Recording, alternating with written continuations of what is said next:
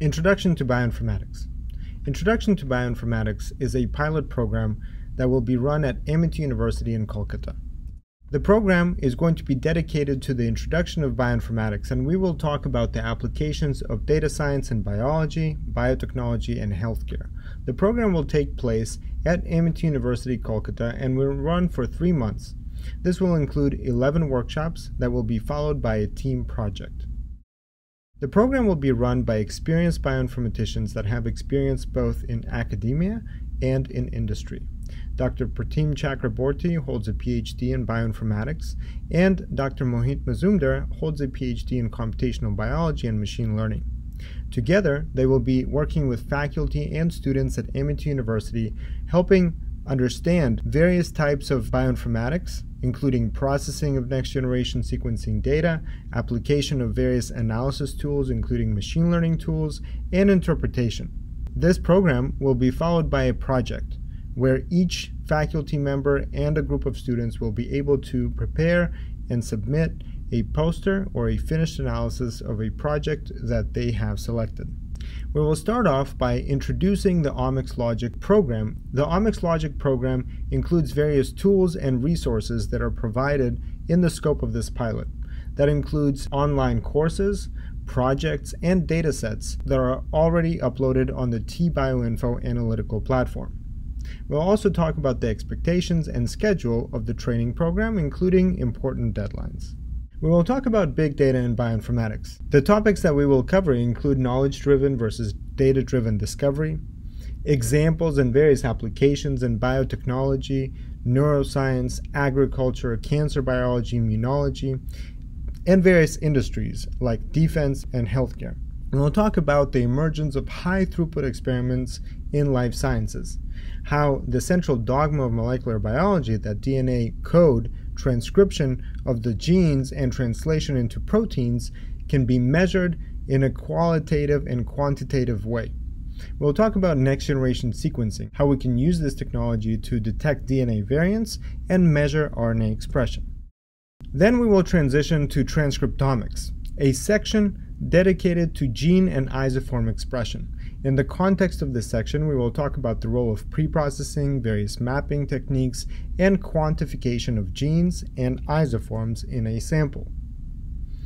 We will then talk about analysis of variance, how we can, how we can use filtering, noise reduction, and normalization techniques to explore large multidimensional datasets more accurately and summarize what we have found using analysis of variance, how we can look at outliers and various techniques so that we can detect groups and trends in the data. In Transcriptomics 3, we will talk about more in-depth gene expression analysis. Using correlation, clustering, and other data mining techniques, we will take a look at analysis of genes and samples based on those genes.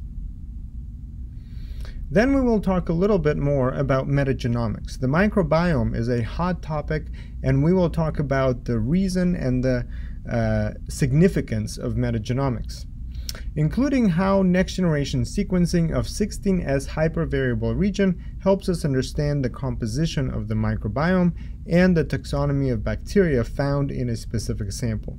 We'll also talk about the significance of the gut microbiota for human health.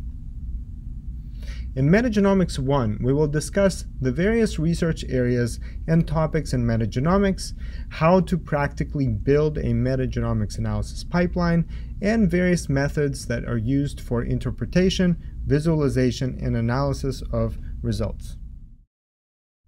In the Introduction to Machine Learning section, we will talk about various supervised and unsupervised machine learning methods.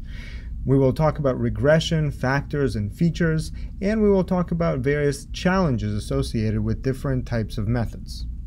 In Machine Learning 1, we will learn about decision trees, discriminant analysis, and support vector machines.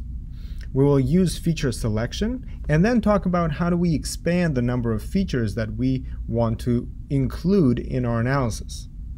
We will then talk about dimensionality reduction and various data visualization techniques. Finally, we will come to a stage where we will transition from the theoretical learning to the practical application of acquired skills to an independent project.